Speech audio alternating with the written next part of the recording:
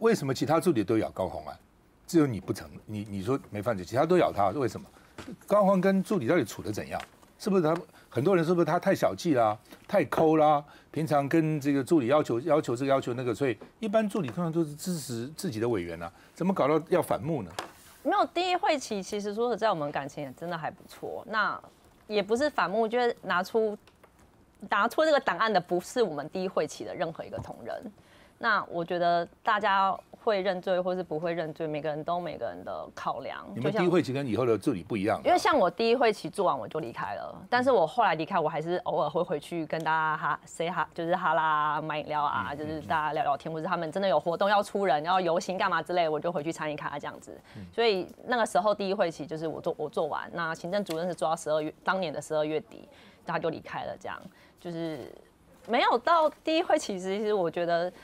大家其实真的没有想那么多，大家就是第一会就是一个想要帮高拼出来一个好成绩。那当然说严格是严格，我们那时候很在乎声量嘛，我们很在乎我们的议题有被大家看到，然后我们希望赶快提出有 有有利于国家、那民众也有感有感受的法案。所以我们其实大家真的是蛮蛮拼的。那我自己也看到办公室，就是我那时候其实。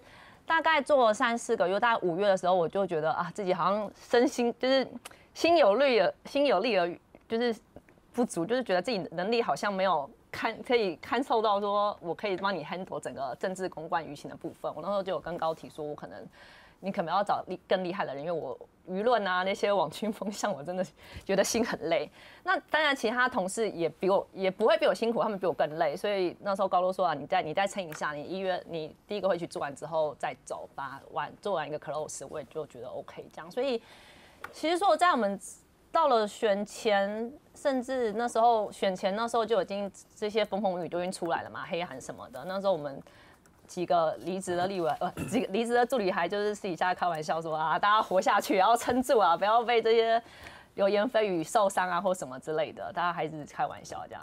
对，那也没有想到说，我那时候也是以为选举的黑暗就是选完就落幕了，就是你不会再继续政治追杀什么的。所以当选完之后，这件事情十二月开始搜索的时候，我们我们大家都吓到了。说实在，我们大家都吓到。然后我跟办公室，我们两个还在。那个北检的休息室，两个就是 很无言的碰到面，然后就想说啊，接下来有一有一笔很漫长路要走。那那时候也有稍微交换一下想法。那我其实可以理解其他人认罪的原因，就是可能会有些人觉得我我我不想付律师费，或是我不想被当剑拔，或是我不想被别人觉得说我跟高正在一起。那说实在。对我自己来说，我其实也不是说一定为了谁。我今天真的是我的家人说，玉文为了你自己的清白，你既然都可以提得出证据，那你为什么不去让？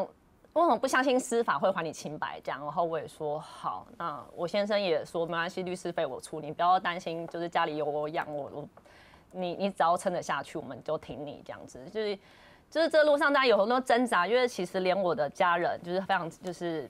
也跟我讲说，啊，司法黑暗啦，你就认啦，就缓刑，头低低的这件事情就过去了。反正大家针对不是你，大家针对是高，大家都看得出来。那你就你就吞下去就好了。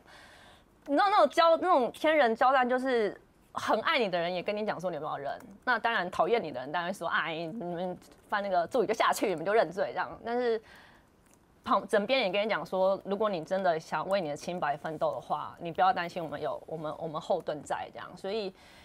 也是一路上从侦讯过程之中，也是一直不断挣扎，甚至就是看到影片消失的时候，我也是觉得我要把这件事情讲出来，我也是一直很挣扎这样。蛮有勇气的，